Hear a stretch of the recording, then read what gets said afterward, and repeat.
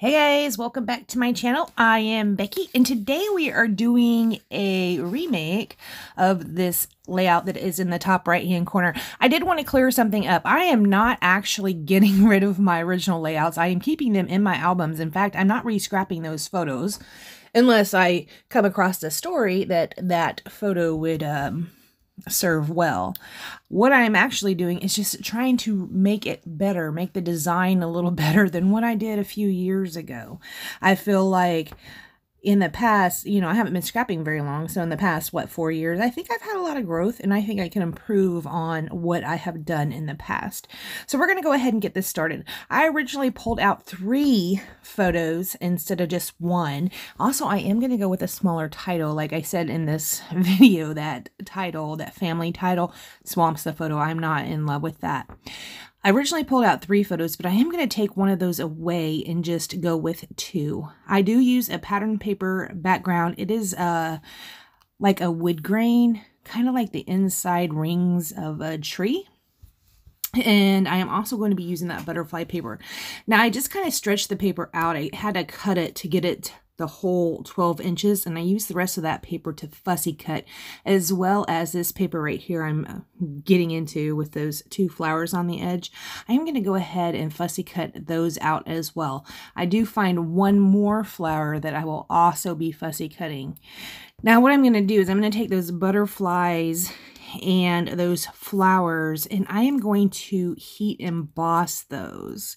But first I'm going to go ahead and set up what I'm going to do on this page kind of. I am just going to use those two photos like I said, and I'm going to have a strip go across horizontally as well.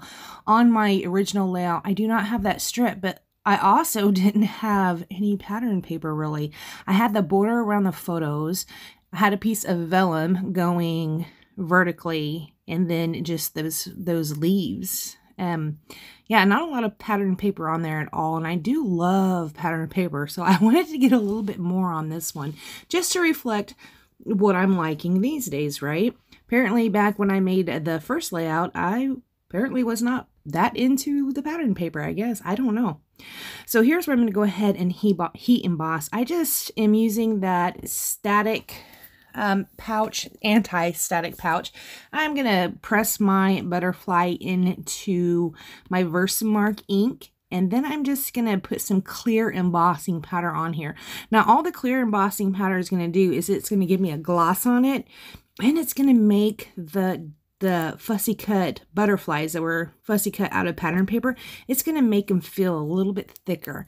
I'm going to do that with all of the butterflies, and I'm also going to be doing that with the flowers that I had cut out as well. I really like to heat emboss. Even with clear, clear doesn't give like a big pow, bang, boom, but it it looks really nice. Like, look, I don't know if you saw that before I put that embossing powder on there. The um, color was kind of flat looking, right?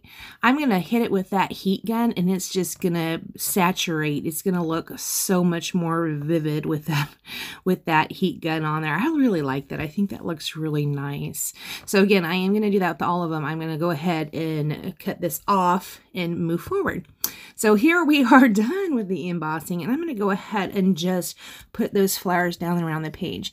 Now the other day my husband did take me to Tuesday morning and I was able to find a pack of the flowers that came from Auburn Lane.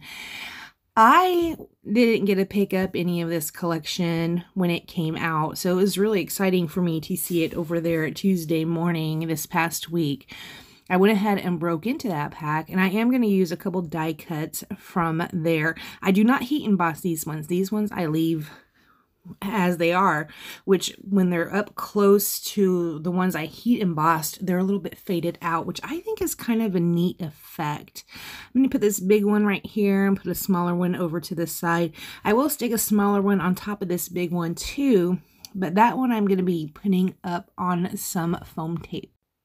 So this weekend is the scrap party over at a Secret Not Secret Kit Club. I'm really excited to be joining in with that. I'm making this weekend a scrap extravaganza. So if there is something you want to be seeing in the next coming weeks, go ahead and leave me a comment on that and I can see if I can work it in this weekend because I am, all I'm going to do is eat and sleep and scrapbook and nap and have some drinks probably. That's what I'm. That's my entire weekend plan. I don't plan on leaving the house. I'll probably brush my teeth though. Okay, let's not be gross. I'll probably do that. But other than that, I am just going to be at the house the entire weekend and scrapbooking. Of course, I say that now. I say that now. Something something might come up because you never know. That's what happens, right? The best laid plans and all that. I also took some of the leaves, or the branchy, flourishy leaves out of that pack. I'm going to put those down around the page as well. I did add one more butterfly up on here. This one's kind of cute because I laid a butterfly on top of the butterfly, but the butterfly on top is smaller than the one that's actually on that pattern paper. has a pretty cool effect in person. I don't know that it really is reading it with the way this is, I think one of the photos at the end is gonna show up a little bit better. So you see that I had cut out that that uh, 4x4 card. It says just have fun. I thought, oh, I'm gonna make that my title. So I pull out these alphas and put just have fun. Well, I couldn't find how I, I couldn't find a way that I would like those. So I'm gonna end up pulling away the just in my photo is going to be, or not my photo, nope. My title is going to just be have fun. I will pull out one of those Spectrum Noir markers that I picked up over at Close to My Heart. It's the uh, flesh colored ones, so basically peach. And um, I'm going to go ahead and color those alphas with that peach marker. These alphas that I'm using right here, what are they? They're kind of weird because I got, uh, well, first of all, I got them at Tuesday morning. They are American Crafts, and they're called Memento White. But some of them are not really white. They're kind of yellow and really gross looking. so these are ones that um, I actually do need to color because some of them are not white. Apparently they color over time. They change colors over time. After I color that, I will take out the Heidi Swapp Color Shine in Gold, which is running dangerously low. I'm going to have to pick up a substitute for that.